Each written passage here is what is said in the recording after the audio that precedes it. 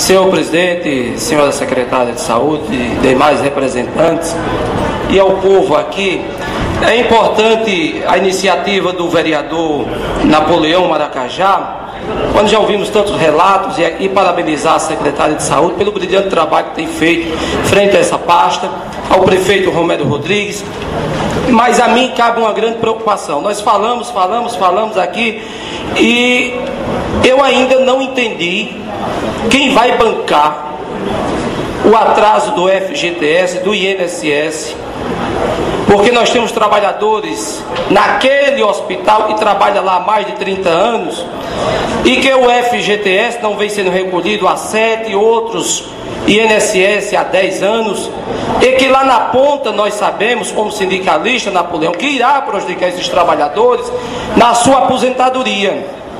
Eu acho que isso deveria ficar muito claro, até para depois não sobrar o abacaxi para a prefeitura.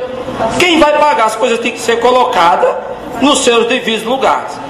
E a outra palavra minha, lamento dizer ao representante da loja maçônica que Vossa Excelência foi um tanto quanto infeliz quando disse que lá tem muitos funcionários e alguns que nem servem mais para estar lá. Lamentável a palavra de Vossa Excelência, porque o trabalhador só é útil, eu sei disso, porque eu limpei chão muitos anos no Banco do Brasil, em um, em um outro hospital aqui.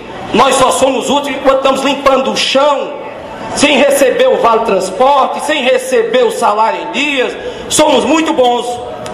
Mas quando ficamos velhos, debilitados, somos considerados algo descartável. E foi lamentável a palavra, me doeu muito ao coração quando Vossa Excelência disse que lá existem pessoas que não são, que já são inservíveis ou imprestáveis.